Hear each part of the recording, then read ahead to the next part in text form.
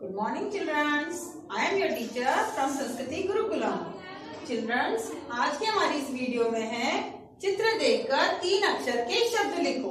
तो हम पहले भी कर चुके हैं और आज नए चित्र है उसके हम शब्द लिखेंगे। ओके स्टूडेंट्स तो यहाँ पर कुछ चित्र बने हुए हैं। आप देख रहे हैं ये यहाँ क्या बना है?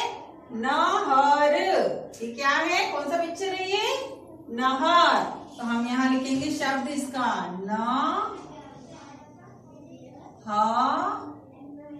र नहर ओके चिल्ड्रंस और नेक्स्ट है हमारा नयन। यहाँ पर कौन सी पिक्चर बना है? नयन। यहाँ हम लिखेंगे न न। उसके बाद पिक्चर बना है कलाम। यहाँ पर कौन सा पिक्चर बना है? यहाँ लिखेंगे? क, ल कलम। इसके बाद लिखा है यहाँ पर नमक। सॉल्ट लिखा है। आपने देखा होगा ना, जब भी हम नमक मंगाते हैं उस पर लिखा रहता है ये सॉल्ट इसको क्या बोलते हैं हिंदी में हम? नमक। तो यहाँ पर हम शब्द लिखेंगे न, म नमक। ओके स्टूडेंट्स इसके बाद हमारा चित्र बना हुआ है महल। तो हम यहाँ लिखेंगे म